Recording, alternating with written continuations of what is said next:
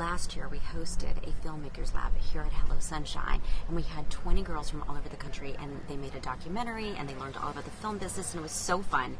So we decided to do it again this year, and I want to introduce you to the girls. They haven't met me, so this is the first time they're meeting me. I'm so excited.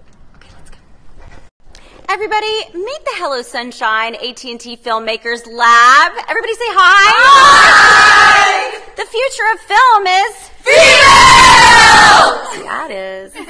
Everybody, meet the Hello Sunshine AT&T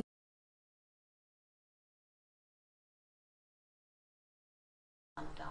And, you know, I, I feel like those are the kind of women I watched on film. You know, Holly Hunter or Sigourney Weaver or uh, Helen Hunt, women who had a lot of inner strength on film. And to apply.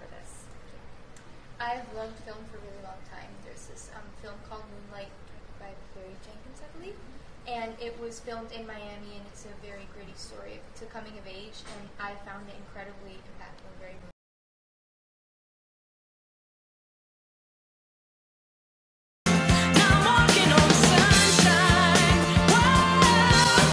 final episode of Big Little Lies this weekend. I'm a little bit sad, but I'm really excited to hear all of your memories and what your favorite parts were. What was your favorite part this season? Was your favorite character Madeline? Was it?